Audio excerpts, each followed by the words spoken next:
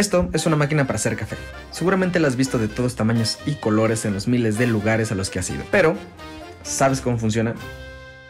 7 y media de la mañana. La única hora donde no hay tanta gente en una cafetería, perfecta para ir a preguntar cómo es que funcionan este tipo de máquinas. Él es David, el barista que fue tan amable de explicarme todo lo necesario para este video. Pues bueno, ahí les va. Existen varios tipos de máquinas para preparar café. Esta en especial y de la que vamos a hablar se llama la Marzocco y es una máquina italiana.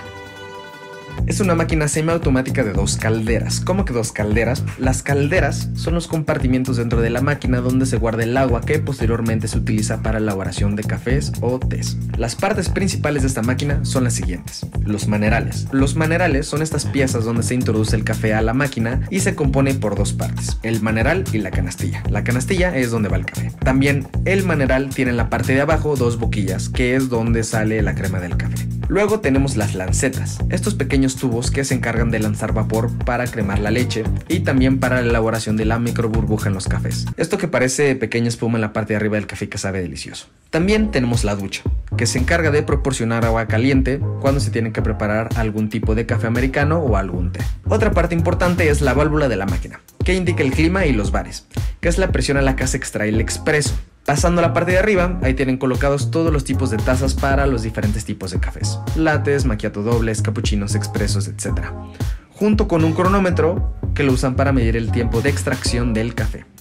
También otra parte importante, que no es de la máquina, pero es importante para la elaboración, es el molino que tienen al lado, que es donde se tritura el café para posteriormente procesarlo en la máquina, y un compartimiento donde se colocan las galletas del café. Se le dice galleta porque al extraer el expreso, el café queda totalmente compactado y pues parece una galleta. Ahora sí, ahí les va el procedimiento que se hace diario en una cafetería antes de poder servir cualquier café. Nosotros por la mañana lo que hacemos es purgar con tres cargas de café para que dentro de ello se limpie esta parte por si se quedó algún sedimento del día anterior. Estas básculas son muy importantes porque si te fijas son muy exactas hasta en los miligramos. Agregamos lo que es el café.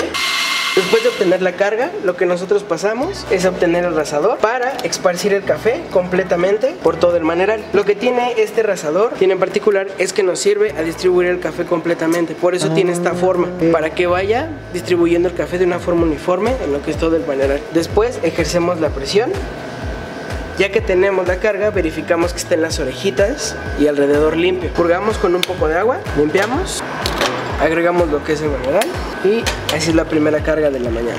Repetimos el proceso otras dos veces más con los manerales, este rasador.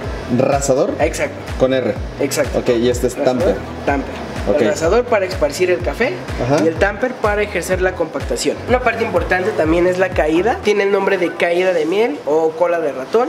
¿Caída de miel? Caída de miel. Como cuando tomas la miel con una cuchara, la alzas. Claro. Y esa caída en hilo es lo que nos dice que, tenemos un buen café, que el agua está hidratando totalmente la pastilla. No está parando, que debe ser constante la caída sin que gotee o que sin que salga demasiado.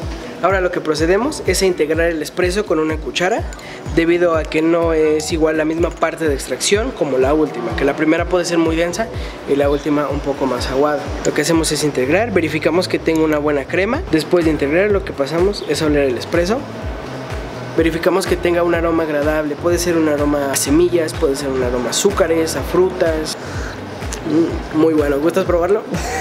es el primero del día, ¿eh? Soy más de latte, está fuerte. Sí. Pero está rico. Y luego de preparar el primer expreso doble, lo que sigue es preparar con la misma medida de carga un expreso sencillo y un cappuccino. O sea, la carga la dividen en dos. Y esto lo hacen para probar el sabor del café y que sea consistente tanto en el expreso doble, el sencillo y el cappuccino. Y me explicó que este procedimiento lo hacen tres veces al día. Uno en la mañana, como a las 7 de la mañana, 7 y media, otro como a las 2 de la tarde y otro como a las 5. ¿Esto por qué? Porque el café es una molécula orgánica que está en constante cambio y existen varios factores que pueden alterarla como el clima. Por lo que si no hacen estas pruebas durante todo el día el café puede variar y afectar el sabor. Y así es como básicamente funciona una máquina como esta. Así que en resumen, la máquina se conforma por los manerales, que es el maneral y la canastilla, las lancetas, la ducha y las calderas que están en su interior. Y bueno, el procedimiento que se realiza tres veces al día que acabamos de aprender. Así que ojalá esto te haya sido interesante. Lleva mucho tiempo queriendo saber cómo es que funcionaba una máquina como esta. Eh, muchas gracias a Curucho Café y a David por darnos el tiempo de explicarnos todo esto. Eh, no es publicidad, pero en verdad vayan a probar el café que hacen aquí. No tienen una idea de lo rico que está y los sándwiches, uff. Abajo en la descripción les dejo sus redes sociales y nada, si te gustó el video por favor compártelo y nos vemos en el próximo video. Chao.